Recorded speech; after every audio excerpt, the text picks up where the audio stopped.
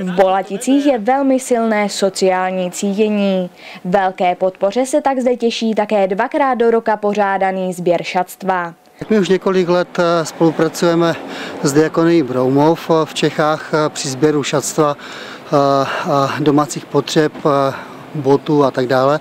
Od ranních hodin zde lidé přinášeli pytle plné oblečení, které brzy zaplnili garáže technických služeb.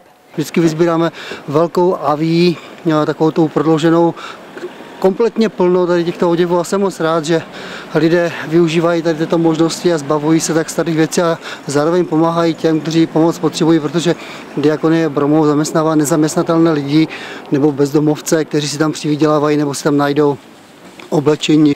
Této akce se účastní nejen místní občané, ale podporují také lidé z okolí.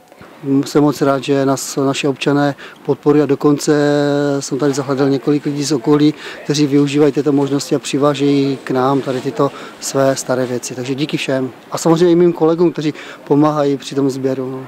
Na shromážděné šatstvo bude opravdu dobře využito.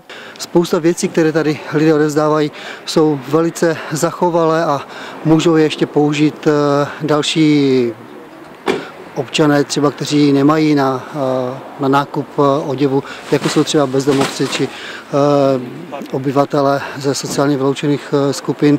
Aspoň se člověk zbaví starších věcí a pomůže se dobré věci. Někteří lidi třeba mají spoustu věcí navíc, dobrých věcí, nových věcí a někteří zase to potřebují a právě tímto způsobem ti, co to mají navíc, dají to těm, těm postiženějším, kteří to nemají. Myslím si, že je to velice perfektní akce. Hm, protože se určitě to oblečení, které nepotřebují doma, hodí určitě někomu jinému, jako, takže si myslím, že aspoň něco potřebného udělám pro lidi. Odevzdat věci, no stejně bychom to neměli na nic, takže jsme to tady odevzdali.